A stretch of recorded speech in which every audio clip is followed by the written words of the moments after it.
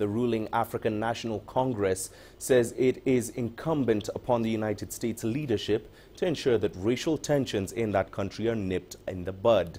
This was the party's reaction to how U.S. President Donald Trump reacted to racial clashes in Virginia. South Africa fought for years to rid itself of a system based on white supremacy. CGTN's Yolisa Njamela with more. It's been 23 years since the first multiracial national general elections in South Africa. But racism is still rife in this country to an extent that government has now begun social cohesion dialogues hoping to unify the nation. The ruling African National Congress is cautioning the U.S. to guard against letting the racial tensions simmer.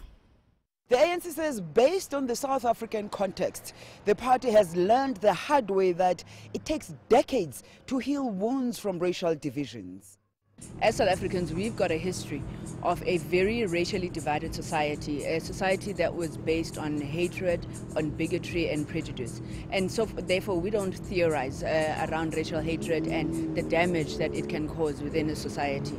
So we're calling on Americans and the leadership of America never to want to be neutral in such a situation. We must always take sides. We must always stand with those who want uh, uh, uh the universal principles of justice, of a common humanity.